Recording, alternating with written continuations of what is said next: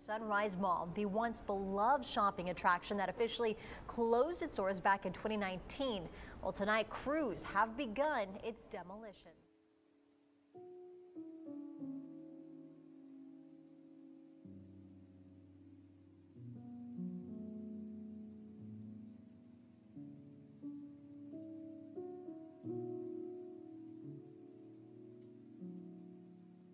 Sears store at Sunrise Mall is shutting down. Sunday will be their last day of business. The store's closure was announced back in August. Changing economic times and online competition took their toll on Sears stores nationwide. The company filed for bankruptcy protection in October of 2018. The Sears store at Sunrise Mall opened its doors in February of 1981.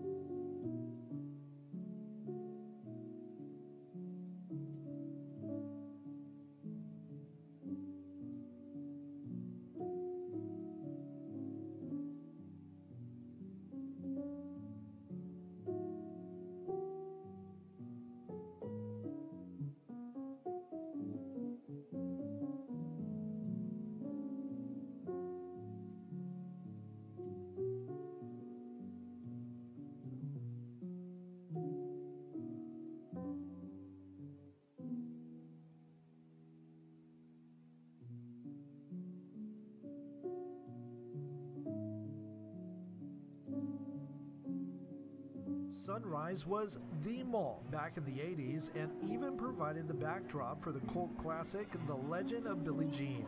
But over the decades, the once lively venue experienced a decline.